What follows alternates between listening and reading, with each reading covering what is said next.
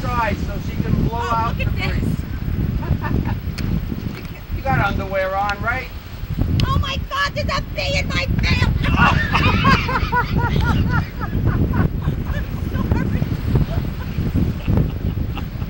Now he's got a bee in his nuts. There was a bee